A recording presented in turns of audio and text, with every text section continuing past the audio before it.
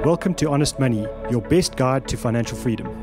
I'm Warren Ingram, the author of a few best selling books, and I'm also an award winning financial planner, and I've helped thousands of people on their journey to financial freedom. I'm not here to tell you what to do, but I am here to share my experience and the best ideas that I've learned, and I hope these ideas help you on your journey to financial freedom. Honest Money is proudly sponsored by Outsurance.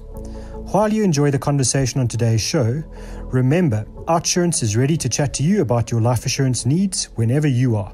Simply SMS LIFE to 30165 and a friendly consultant will call you back and complete your unique life insurance quote. Outsurance, you always get something out. Outsurance Life is a licensed insurer and FSP. T's and C's apply. 50 cents per SMS.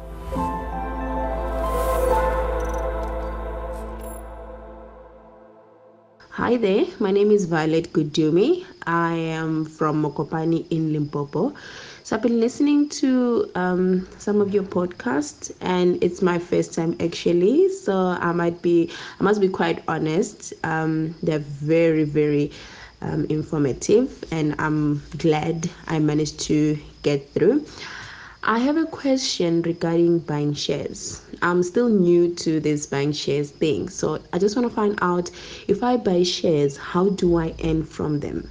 And is it advisable for me to sell my shares if they are reflecting that I have a profit or if there is a good profit um, on them? Like I'm going, I'm, I'm currently using the Easy Equity platform just so that I can be able to to to see how things are going. So, what advice can you give me? If I buy shares, is it advisable for me to sell my shares when I have a profit, or how do I withdraw my profit? Is it possible for me to withdraw my profit and still continue having those shares?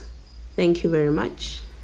Thanks, Violet. That's a great uh, question. I think a lot of people, uh, you, you, know, will be looking at shares and and and you know they read a lot about it or they hear about it on the podcasts, and then they uh, they're wondering exactly the same thing as you. So so thank you very much for your question. Uh, I think it's uh, important to understand w- what a share is the, as a starting point. So, for example, let's just say you you buy 100 shares in Pick and Pay. Uh, that, that means that you know after you've bought them, you become a part owner of Pick and Pay. And uh, there, there, are two things happen. One, the share price of Pick and Pay might go up or it might go down, and that will be dependent on a whole lot of factors. So, for example, if there's a lockdown and it's hurting Pick and Pay and they can't sell as much uh, pro, uh, goods as they used to in the in the past, then they might be making less money or they might even be making losses, and that might move the share price down. Or you might find that the whole economy goes down and, and it's tough for, for companies to, like retailers, just to, just to do well in a, in a time like that. And that might move the share price down. So it might not be specific to Pick and Pay. It might actually just be something that's going on in the economy. At the same time, you know, Pick and Pay might do a great job and they might find ways to, to get more customers and to sell more goods to their customers, and therefore their share price might go up because they're actually doing very well. So, so that's the one way that, that you could make money out of shares is by the share moving up or down in terms of its price. The other way that you can make money out of shares is from the profits that, that uh, Pick and Pay makes, where they decide to take a portion of those profits and they pay out those profits to their shareholders. And that's called a dividend. So, so that means you don't need to buy or to sell the share. You, once you've bought the share and you're holding it, then, then every six months or every year, the company might decide to pay out some, some of its profits in dividends. And the fact that you're a shareholder means that you're, you'll be entitled to dividends.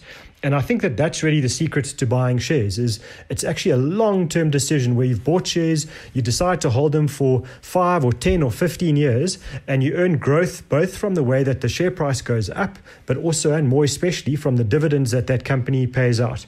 So so Violet, I think the first answer is buy shares if you're going to buy shares, buy shares that do pay dividends and that have a good history of paying dividends and then you need to plan to hold those shares for a very long period of time so that they will pay out those dividends to you and and that's the way you start to make an income from your shares. But if you're if you see, let's say you've bought your Pick and Pay shares and you bought them for 100 rand and they've gone up to 500 rand in a very short space of time, you might want to sell some of your shares. So you might say, well, I, I put in 100 rand, let me take out 300 rand as a profit because the share price has gone crazy, and I'll keep 200 rand in there So you've already made money out, out of your share investment. And I think that that's an okay strategy. You should never be okay, uh, never be worried, I should say, to sell to sell shares at a profit. But I wouldn't be in a rush because the thing about shares is that the growth of, of shares happens over long periods of time. And the people that make money out of shares are those that actually let their shares stay invested for, for years and years and years, not months and months. Uh, I think I would also just say I'd be careful of buying too many individual shares at the beginning. You know, if you're starting out, rather buy something like a top 40 index or a world index, which owns lots of different companies, rather than buying one company yourself, where, where you might end up making a loss on that company because that one company does badly. You know, there's a lot of risk in, in, in, in terms of just buying one share. So either buy lots of shares or buy one index, which, which on its own is lots of, uh, lots of shares in one investment. And that's probably my recommendation for anybody who wants to start the journey of share investing. Buy an index first, take the time to learn what's going on, do your homework, and then maybe one day go into buying individual shares. Personally, I like buying indexes. I don't don't generally make a lot of money buying buying individual shares, but I do make a lot of money out of buying an index. Hi Warren, thank you for your great show. Um, I really enjoy listening to it. Um, my question today is what platform is the best to do um, scalp trading in South Africa? And uh, what's your thoughts about it? Um, I've been following a couple of entrepreneurs in the USA that have used um, scalp trading to generate their initial income um, to start investing in, in real estate or, or just give the, the, a boost um, in their income. so I'm all for investing long term through platforms like Easy Equities, but I just want to learn more about scalping and and what your um, thoughts are around that. Wow, what an interesting question. You know, I must say I had to go and look up what uh, what scalping was because I haven't heard the term before. But, uh, but but it's basically another word for for high frequency trading in a particular kind of, of market segment. In other words, uh, where you look at the difference between the buying price of something and the selling price of something, and then you try and make a profit by by by arbitraging the difference between those two it's um, you know if you've lost me already that that tells you something. You know this is not a simple easy to understand way of making money. It relies on doing hundreds if not thousands of transactions in a month. Uh, and and you know your your profits are not certain you know. So anybody that says uh, high frequency trading or scalping is a is an easy way to make money uh, I don't think they're telling you the truth.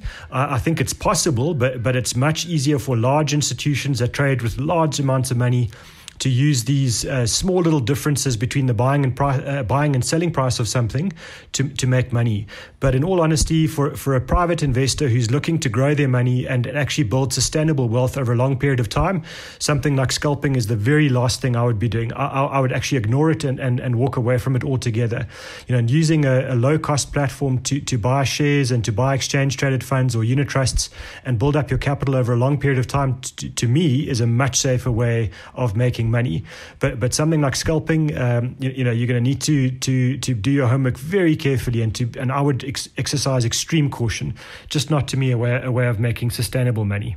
Morning, morning, guys. All I want to find out is where to invest if you want to get the compound interest. I just want you guys to explain to me in simple steps which bank account or which type of of investment can you choose in order for you to be able to earn compound interest? That's my question. Thanks for that that question on compound interest. I think it's important to understand that uh, if you invest money in a bank account or in a fixed deposit or just a normal money market account linked to your banking profile, then all of those will generate uh, compound interest over time. Uh, because what happens is, the, the, let's say the bank says we'll give you five percent interest a year.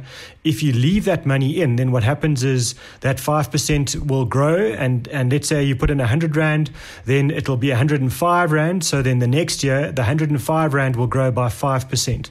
So, so the beauty of compounding is it's one of those things that works better with time. The longer you leave it, the more it will grow. But it doesn't, it's not specific to a particular kind of bank account or a particular kind of fixed deposit. It's something that you can use for all bank accounts, all fixed deposits, all money market accounts. Thank you for listening to Honest Money. If you have any questions, you're welcome to reach out to me on Twitter. My handle is at Warren Ingram. Don't forget to subscribe. We're on Spotify and Apple Podcast. Chat soon. Honest Money was proudly brought to you by Outsurance. While you may have enjoyed today's conversation, Outsurance understands that talking about a future without you isn't always easy. SMS Life to 30165 for a callback, and you'll find that taking up death, disability, and critical illness insurance cover can be as simple as it is comfortable, and of course, affordable. Outsurance, you always get something out.